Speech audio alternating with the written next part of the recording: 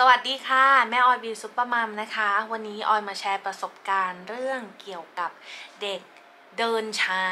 ละกันเนาะเออนะคะ คือออยก็เคยทำคลิปอัปเดตพัฒนาการจิมิงอ่าลูกชายคนโตนะคะเเคยทำไว้นานแล้ว ตอนนี้สามขวบครึ่งแล้วอะตอนที่ช่วงเขาหัดเดินนะ ก็เลยมาอัปเดต อัปเดตนานไปหรือเปล่าไม่รู้เนาะ ทุกวันนี้ก็ยังมีคอมเมนต์ใต้คลิปนั้นอยู่ว่าลูก ลูกเราก็เดินช้าเหมือนกันอะไรอย่างเงี้ยหรือว่ามีคอมเมนต์มาถามอัปเดตนะคะว่าตกลงลูกเดินได้ตอนอายุเท่าไหร่นะคะ ก็เลยจะมาอัปเดตข้อมูลหน่อยละกันพัฒนาการลูกๆนะคะ แล้วรวมถึงแชร์ประสบการณ์ความคิดเห็นส่วนตัวด้วยนะอออยว่าเวลาลูกเราเดินช้าเนี่ย เพราะว่าเราไปเปรียบเทียบพัฒนาการของเรากับเขาเรียกอะไรอะมาตรฐานน่ะมันจะมีมาตรฐานน่ะ เออว่าเด็กกี่ขวบทำอะไรได้บ้างทำอะไรได้บ้างใช่ไหมแม่มือใหม่ออยก็เป็นนะคะเราจะชอบดูว่าเด็กกี่ขวบทำอะไรได้บ้างทำอะไรได้บ้างแล้วก็ติดตามพัฒนาการลูกตัวเองใช่ป่ะเออแล้วก็อีกอย่างหนึ่งคือเราจะไปเปรียบเทียบลูกเรากับลูกคนอื่นนะคะว่าอ๋อลูกคนอื่นทำอันนี้ได้แล้วลูกเราทำได้แล้วหรือยัง มันจะทำให้เราจิตตก แล้วก็กังวลนะคะเออออยอะเคยเป็นมาหมดแล้วนะคะ แต่ว่าออยมาเริ่มตั้งสติได้ตอนมีลูกคนที่สองนี่แหละ เพราะว่า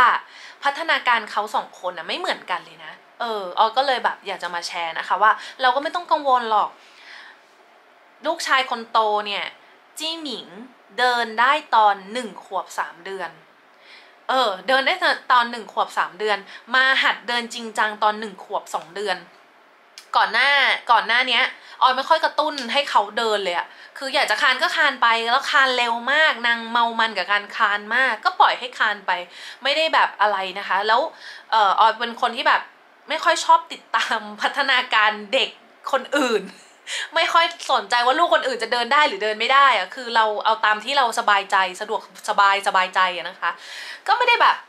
กังวลอะไรอะทีนี้เริ่มมากังวลเอาจริงตอนขวบกว่าขวบเดือนหนึ่ง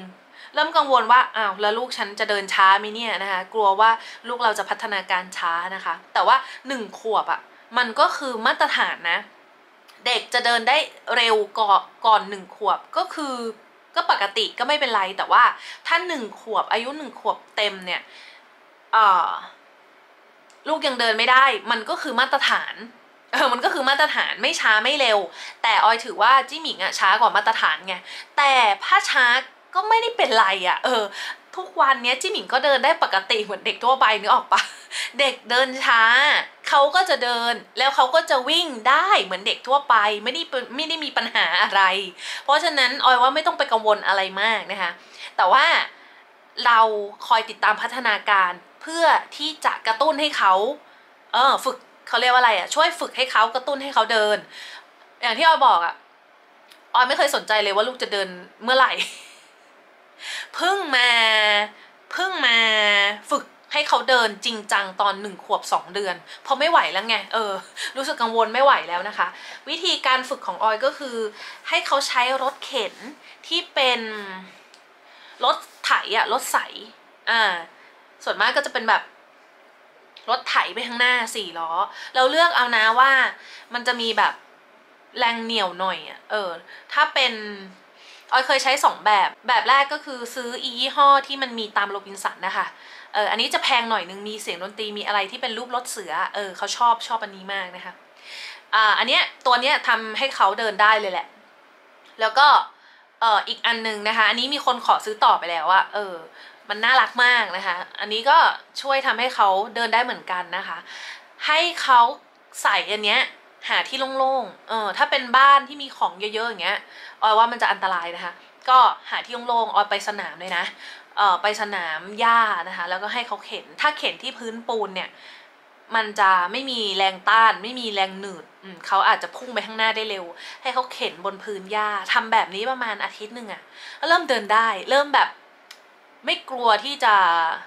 เอ่อก้าวขาออกมาอะไรเงี้ย เออ ก็เริ่มเดินได้ แล้วก็เริ่มเดินได้จริง ๆ ช่วง หนึ่งขวบสามเดือน เออ คือแบบไม่ต้องใช้รถแล้ว แล้วก็ไม่ได้ล้มหัวที่หัวตำแล้วนะคะ ก็ใช้เวลาฝึกเดือนหนึ่ง จริง แต่ว่าถ้าบ้านไหน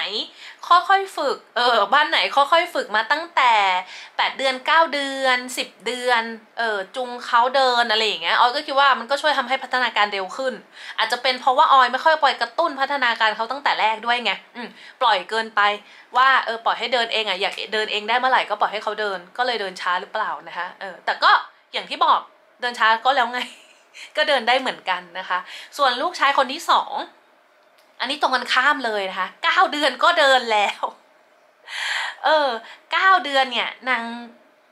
กระดกก้นขึ้นมาแล้วก็พยายามก้าวขาเดินไปข้างหน้าเอง ได้อะเออ อาจจะเป็นเพราะว่าอย่างที่เขาบอกแหละว่าเขามีแวดล้อมอะเออ มีแวดล้อมว่าเขาเห็นพี่เขาใช่ปะเดินได้อย่างเงี้ย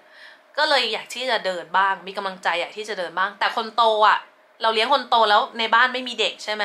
เขาคลานเขาก็ยังคลานต่อไปได้เงี้ยเออเขาไม่เห็นตัวอย่างไม่ไม่ได้อยู่ในสภาพแวดล้อมที่ที่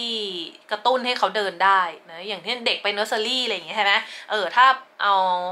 เอาลูกไปเนอร์เซอรี่ก็จะมีสภาพแวดล้อมที่เป็นเด็ก ๆเขาก็เลียนแบบมันมีพฤติกรรมเลียนแบบกัน แล้วก็ช่วยกระตุ้น เอ่อแล้วอาจจะมีการช่วยกระตุ้นพัฒนาการให้เขาฝึกฝนในการเดินก็ได้ แต่ก็อย่างที่บอกอะค่ะเอ่อตอนนี้ลูกชายคนโตที่เดินช้ากับลูกชายคนเล็กที่เดินเร็วตอน 9 เดือน ก็เดินได้เหมือนกันเลย ไม่มีอะไรแตกต่างกันเลยนะคะ เพราะฉะนั้นออคอยสังเกตพัฒนาการเขาได้แต่ว่า ไม่ต้องไปกังวลตีโพยตีพายอะไรมาก ลูกเราเดินช้าก็ไม่ใช่ปมด้อยนะคะ เขาโตมาเขาก็เดินได้เหมือนกับเด็ก ๆ ทั่วไปเนาะอืมก็แชร์เอาไว้แล้วกันนะคะ ประสบการณ์แม่ลูกสองมีสองคนไงมันก็เลยเปรียบเทียบกันได้ว่าเออเด็กแต่ละคนมันไม่เหมือนกันจริง ๆ เป็นพี่น้องกันท้องเดียวกันมันก็ไม่เหมือนกันเลย ยังไม่เหมือนกันเลยอะนะคะเออครั้งต่อไปออยก็จะมีเรื่องพูดและการพูดช้า จีหมิงพูดช้าเหมือนกัน คนโตก็พูดช้าเหมือนกัน คนโตเป็นอะไรที่ช้าทุกอย่างนะคะ ก็เอ่อมาเจอกันคลิปต่อไปละกันนะคะ เรื่องพูดช้ายังไงก็ฝากไว้นะคะ วันนี้ออยไปก่อนละค่ะ บ๊ายบาย สวัสดีค่ะ อย่าลืมกดไลค์ให้ออยด้วยนะ กด subscribe ไปด้วยเลยก็ได้ ไปแล้วค่ะ สวัสดีค่ะ